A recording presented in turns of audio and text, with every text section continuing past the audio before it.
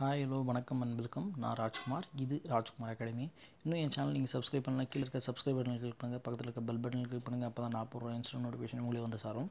So இன்றைக்கி பார்த்தோம்னா நிதி பொருளியலில் பார்ட் த்ரீ வீடியோ தான் பார்க்க போகிறோம் வாங்க இன்றைக்கான கிளாஸுக்கு போவோம்.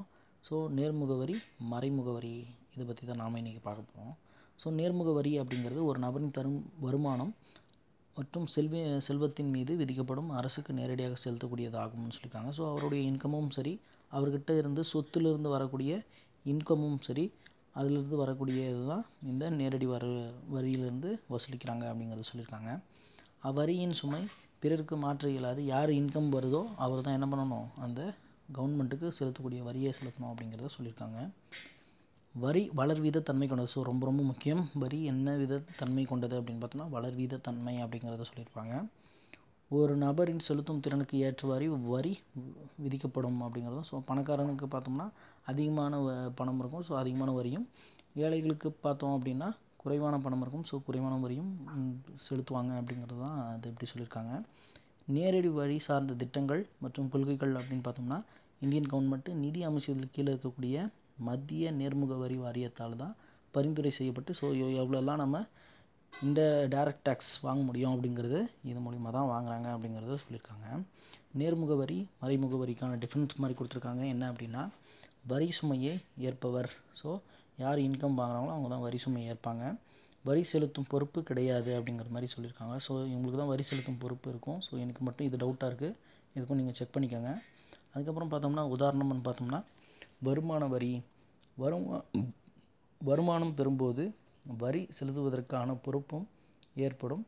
இறுதியான வரி சுமையை அவரே ஏற்க நேரிடும் அப்படிங்கிறத சொல்லியிருக்காங்க. ஸோ எல்லா அமௌண்ட்டும் அவரே கட்டுற மாதிரி இருக்கும். அதுதான் நேர்முக வரி அப்படிங்கிறத சொல்லியிருக்காங்க. மறைமுக வரி அப்படின்னு பார்த்தோம்னா வாங்குபவர் இறுதியாக வரி சுமையை ஏற்பவர். ஸோ ஒரு பண்டம் இருக்கும் அப்படின்னா கடைசியாக யார் வாங்குறாங்களோ அது யார்கிட்ட போதோ அந்த கன்சியூமர் தான் அதனுடைய இறுதியான வரி சுமையை ஏற்பவர் அப்படிங்கிறத சொல்லியிருக்காங்க. வரி செலுத்தும் பொறுப்பு கடைக்காரர்கள்கிட்ட இருக்குது அப்படிங்கிறதையும் உதாரணமாக பார்த்தோம் அப்படின்னா பண்டங்கள் மற்றும் பணிகள் மீதான வரி ஜிஎஸ்டி இந்த ஜிஎஸ்டியில் இந்த மாதிரி தான் பண்ணுறாங்க அப்படிங்கிறத அவங்க சொல்லியிருக்காங்க. ஸோ நேர்முக வரியின் நன்மைகள். ஸோ இது அப்படியே சும்மா ஓரில் பார்த்துக்கலாம். ஸோ நேர்முக வரியின் நன்மைகள் அப்படின்னு பார்த்தோம்னா சமத்துவம். ஸோ சமத்துவம் பார்த்தோம்னா அது வளர்வீதம் தன்மை கொண்டது அப்படின்னு சொல்லியிருக்காங்க. வரி அடிப்படையில் பொறுத்து வரி வீதம் மாறும் அப்படிங்கிறது சொல்லியிருக்காங்க. ஸோ பணக்காரருக்கு அதிகமான இன்க இது டேக்ஸ் கட்ட வேண்டியதாக இருக்கும். ஏழைகள் குறைவான டேக்ஸ் கட்ட வேண்டியதாக இருக்கும். இதுதான் சமத்துவம் அப்படிங்கிற மாதிரி அவங்க சொல்லியிருக்காங்க. ஸோ அதுக்கப்புறம் நிச்சயத்தன்மை அப்படின்னு பார்த்தோம்னா உதாரணமாக வருமான வரி செலுத்துபவர் எங்கு எப்பொழுது எவ்வளவு வரி செலுத்த வேண்டும் என்பது அறிந்துள்ளார் அப்படிங்க அதான் நிச்சயத்தன்மைனா கண்டிப்பாக நீங்கள் அந்த டேக்ஸ் நீங்கள் தான் கட்டி ஆகணும் அப்படிங்கிற மாதிரி சொல்லியிருக்காங்க. அது நிச்சயத்தன்மை நெகிழும் தன்மை அப்படின்னு பார்த்தோம்னா நேர்முக வரிகள் நெகிழும் தன்மை திருப்தி செய்கிறது அப்படிங்கிறத சொல்லியிருக்காங்க. எப்படின்னா வருமான வரியானது வருமானத்தின் நிகழ்ச்சியை பொறுத்தது. ஸோ அதிகமான இன்கம் வந்துச்சு அப்படின்னா நமக்கு சந்தோஷமாக இருக்கும். ஸோ நம்ம அதிகமான டேக்ஸ் கட்டுறதுக்கு ரொம்ப விரும்புவோம் அப்படிங்கிற மாதிரி தான் இந்த நிகழ்ச்சி தன்மையில் சொல்லியிருக்காங்க.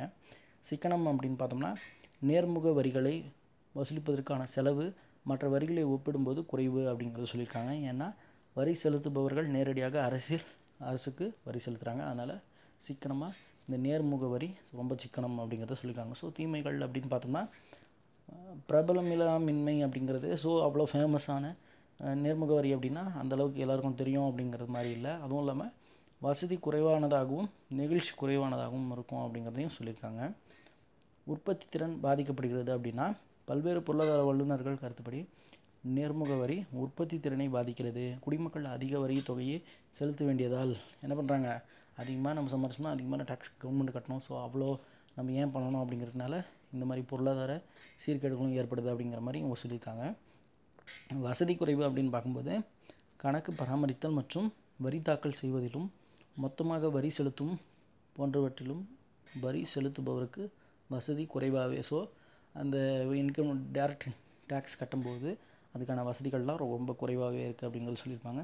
வரி எய்தல் அப்படின்னா ஆட்டிய போடுறது மாதிரி அதாவது நேர்முக வரியின் சுமை அதிகமாக இருப்பதால் வரி செலுத்துபவர்கள் வரியை எய்ப்பதற்கு முயல்கின்றனர். ஸோ கட்டாமல் தப்பிக்கிற மாதிரி பண்ணுறாங்க அதுதான் எய்ப்பு அப்படிங்கிற மாதிரி சொல்லியிருக்காங்க. இது கருப்பு பணம் உருவாக்குவதற்கு வாய்ப்பளிப்பதால் இது பொருளாதாரத்துக்கு பாதிப்பை ஏற்படுத்துது அப்படிங்கிறதையும் சொல்லியிருக்காங்க. மறைமுக வரி மறைமுக வரி அப்படின்னு பார்த்தோம்னா பொருட்கள் அல்லது பணிகளையோ வாங்கும்போது நபர் மீது விதிக்கப்படுகின்ற வரி அப்படிங்கிறத சொல்லியிருக்காங்க. மேலும் இது அரசுக்கு மறைமுகமாக செலுத்தப்படுகிறது. இவ் சுமை எளிதாக மற்றவர் மீது மாற்றப்படும். ஏழை அல்லது பணக்காரர் என யாராக இருந்தாலும் இந்நபர் மீது சமமாக சமத்துவப்படும் அப்படிங்கிறதையும் சொல்லியிருக்காங்க. பல்வேறு மறைமுக வரிகள் அப்படின்னு பார்த்தோம்னா உற்பத்தி வரி விற்பனை வரி சுங்க தீர்வை கேளிக்கை வரி சேவை வரி. ஸோ கண்டிப்பாக கேட்பாங்க. ரொம்ப ரொம்ப முக்கியம். இதெல்லாம் மறைமுக வரிகள் அப்படின்னு பார்த்தோம்னா உற்பத்தி வரி விற்பனை வரி சுங்க தீர்வை கேளிக்கை வரி சேவை வரி. ஸோ சேவை அப்படிங்கிறத ஹோட்டலுக்கு போகிறோம் எங்கேயோ நமக்கு டீச்சிங் பண்ணணும் ஏதோ நம்ம டிஎன்பிசி கிளாஸ் போகணும் இதெல்லாமே அந்த சேவை வரியில் வரும் கேளிக்கை வரினா திரையரங்கு உரிமையாளர் என்ன பண்ணுவார்? அவர் படத்தை போட்டு அவருக்கு கட்ட வேண்டிய டேக்ஸ் எல்லாம் நம்ம மேலே போட்டுருவார். சுங்கத்தீர்வை அப்படின்னா வெளிநாட்டிலேருந்து ஒரு பொருள் வருது அப்படின்னா அதுக்கு ஒரு டேக்ஸ் போட்டு அப்புறம் அந்த பொருள் யாருக்கு வேணுமோ அவங்கக்கிட்ட அந்த டேக்ஸ் வாங்கிக்குவாங்க. விற்பனை வரி அப்படின்னா கடைக்காரர்கள்கிட்ட இருந்து ஒரு பொருளை நம்ம வாங்குகிறோன்னா அதுலேருந்து கட்டக்கூடிய வரி விற்பனை வரி. உற்பத்தியாளர் வரி அப்படின்னா உற்பத்தியாளர் பண்ணியிருப்பார் பட் அது யார் வாங்குறாங்களோ அவங்கக்கிட்ட இருந்து வாங்கக்கூடிய வரி உற்பத்தி வரி அப்படிங்கிற மாதிரி சொல்லியிருக்காங்க. மறைமுக வரிகளின் நன்மைகள் அப்படின்னு பார்த்தோம்னா பறந்தும் காணப்படுகிறது. ஸோ பறந்தும் காணப்படுகிறது என்ன சொல்லியிருக்காங்க அப்படின்னா மறைமுக வரி விதிக்கப்படுறதுனால ஏழைகளாக இருந்தாலும் சரி பணக்காரர்களாக இருந்தாலும் சரி எல்லாருமே அந்த வரியை கண்டிப்பாக விதிக்கணுங்கிறதுனால அதிக அளவு லாபம் ஈட்டுறாங்க அப்படிங்கிறத சொல்லியிருக்காங்க.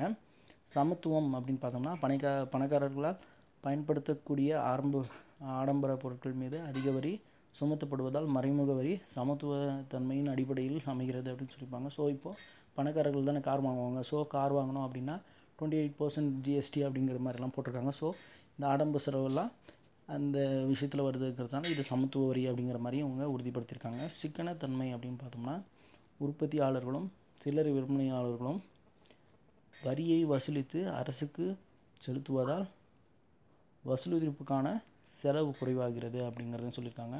வணிகர்களால் மதிப்புமிக்க வரி வசூலிப்பவர்களாக செயலாற்றுகின்றனர் அப்படிங்கிறதையும் இவங்க சொல்லியிருக்காங்க. உடலுக்கு தீங்கான பொருட்களின் நுகர்வை குறைக்கிறது அப்படிங்கிறது? தான் ஸோ மது மீதும் புகை பொருட்களின் மீதும் அதிகமான வரி விதிக்கிறாங்க. இது பாப வரி எனவும் அழைக்கப்படுகிறது அப்படின்னு சொல்லியிருக்காங்க. வசதியானது அப்படின்னு பார்த்தோம்னா மறைமுக வரியானது பண்டங்கள் மற்றும் பணிகள் மீது விதிக்கப்படுகிறது. நுகர்வோர் இதனை வாங்கும்போது என்ன பண்ணிடுறாங்க? வரியை செலுத்திடுறாங்க அப்படிங்கிறதையும் சொல்லியிருக்காங்க. மறைமுக வரியின் தீமைகள் அப்படின்னு பார்க்கோம்னா வசூலிக்கும் செலவு அதிகம். ஸோ நேரடி வரியை ஒப்பிடும்போது மறைமுக வரி வசூலிக்கும் செலவு ரொம்பவே அதிகம்.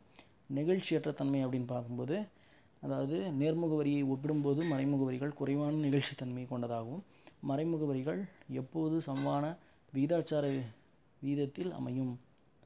அதாவது அதிகமான பணக்காரர் அதிகமான டேக்ஸும் குறைவான பொருட்கள் அதிகமான பணக்காரர் அவருக்கு வசதிக்கு ஏற்ப அதிகமான பொருட்கள் வாங்குவார். ஸோ அதுக்கான டேக்ஸ் கட்டுவார். ஏழை மக்கள் அப்படின்னா அவங்களுக்கு அத்தியாவசிய பொருட்கள் மட்டும் வாங்குவாங்க. அதுக்கு டேக்ஸ் இல்லாத மாதிரி அப்படிங்கிற மாதிரி தான் அப்படி சொல்லியிருக்காங்க. தேய் வீதம் அப்படின்னு பார்க்கும்போது மறைமுக வரிகள் சில நேரங்களில் நீதியற்ற மற்றும் தேய்வீத தன்மை கொண்டதாகும். வருமான மட்டத்திற்கு அப்பாற்பட்டு ஏழை மற்றும் பணக்காரர்கள் ஆகிய இருவரும் ஒரே மறைமுக வரியை தொகையை செலுத்த வேண்டியது இருக்கும் ஸோ நம்ம ஒரு பொருள் வாங்கும்போது பணக்காரராக இருந்தாலும் சரி ஏழையாக இருந்தாலும் சரி ஒரே பணத்தை தான் கொடுக்கணும் அப்படிங்கிற மாதிரி இதில் சொல்லியிருக்காங்க. மறைமுக வரிகள் உயரும்போது விலை உயர்வதால் பொருளுக்கான தேவையும் குறையுது அப்படின்னு சொல்லியிருக்காங்க. அப்புறம் குடிமை உணர்வின்மை அப்படின்னு பார்த்தோம்னா விலையுடன் வரி மறைந்திருப்பதால் நுகர்வோர் வரி செலுத்தும் பற்றி விழிப்புணர்வும் கிடையாது அப்படிங்கிறதையும் சொல்லியிருக்காங்க. ஸோ மறைமுக வரி நேர்முக வரி அப்படின்னு பார்க்கும்போது ஒரு நபரின் வருமானம் மற்றும் செல்வத்தின் மீது விதிக்கப்பட்டு நேரடியாக அரசுக்கு செலுத்துவதாகும். மறைமுக வரி அப்படிங்கிறது ஒரு நுகர்வர் பண்டங்கள் மற்றும் பணிகள் மீது விதிக்கப்படும் மறைமுகமாக அரசுக்கு செலுத்துவதாகும். ஸோ நோ நேர்முக வரி அப்படிங்கிறது வளர் வீதம் அப்படிங்கிறதும் மறைமுக வரிங்கிறது தேய் வீதம்ங்கிறதும் சொல்லியிருக்காங்க. நேர்முக வரி பணவீக்கத்தை குறைப்பதற்கு உதவும் அப்படிங்கிற சொல்லியிருக்காங்க. ரொம்ப ரொம்ப முக்கியம். பணவீக்கத்தை குறைப்பதற்கு. ஸோ இது மறைமுக வரி பணவீக்கத்தை ஏற்படுத்தும் அப்படிங்கிறத சொல்லியிருக்காங்க. ஸோ சரக்கு மற்றும் சேவை வரி அடுத்த கிளாஸில் பார்ப்போம். நன்றி வணக்கம்.